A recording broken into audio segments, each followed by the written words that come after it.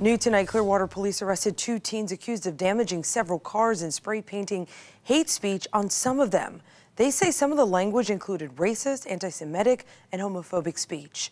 Both boys are 16 years old. Police say three incidents happened in Clearwater, others in Tarpon Springs, and other parts of the county.